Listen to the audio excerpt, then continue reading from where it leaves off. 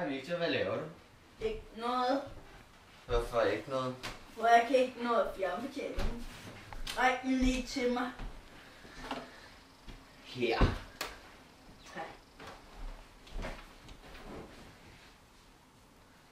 Du skal altså også lige rulle gardinerne ned. Okay.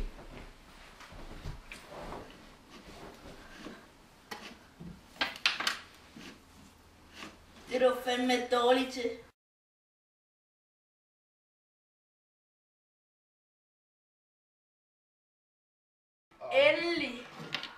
Ja.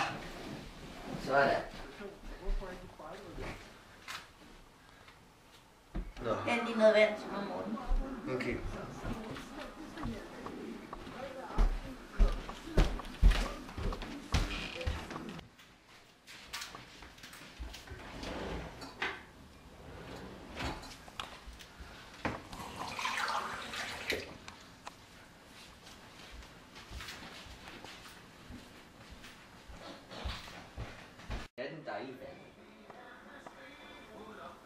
Jeg vil have en is.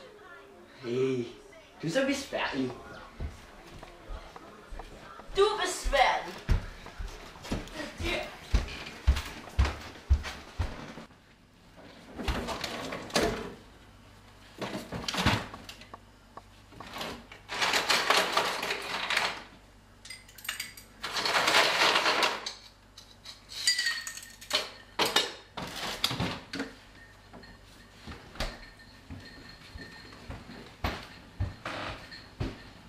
Vand med dejlig is i.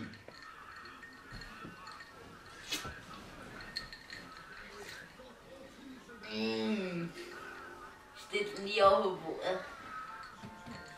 Nej, vent, jeg tager stil mig lige igen. Mm.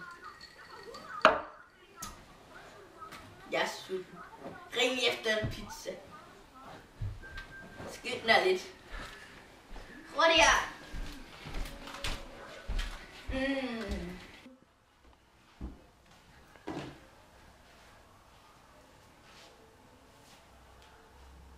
Hej, er det pizzabuddet? Ja, jeg vil gerne bestille nummer to. Ja, ja, Ja. Ja. Ved du, hvor jeg bor? Okay. Okay. Vi ses om lidt.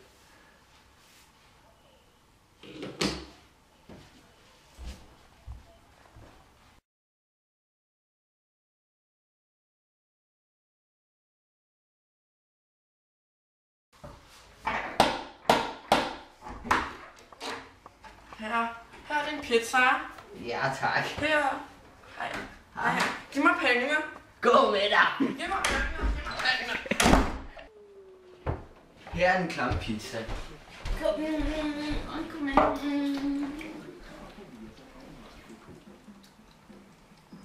Ikke spise for hurtigt, vel? Ja, det stikker. Jeg skal skide.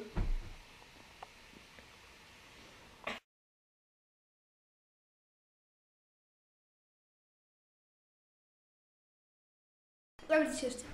Nej, fordi nu filmer jeg. Tag dig og se morgen snakker med Simon, og Victor han sidder og ser Teen Mom.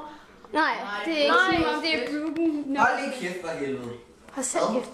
Og så kom, ej Mikkel, kom med. Og nu går vi. Kom til et stykke.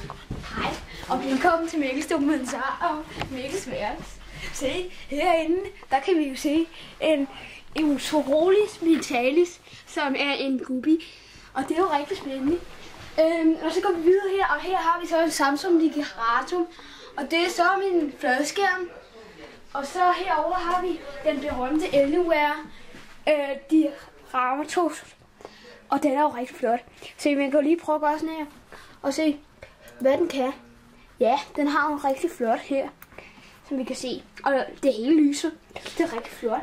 Og her, der har vi så en lille bamse. Og den hedder Dolph. Og herover der kan vi jo lige finde noget. Ja, den her for eksempel. Det er jo sådan en, min søster har lavet til mig i fødselsdagsgave. Og det er sådan et af glas og ja, metal. Og herovre har vi så noget fra Kreta. Og hvis du går...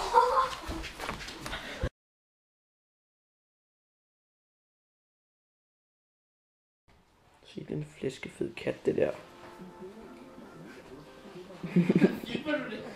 den er rigtig tyk helt du godt efter, kan du se dens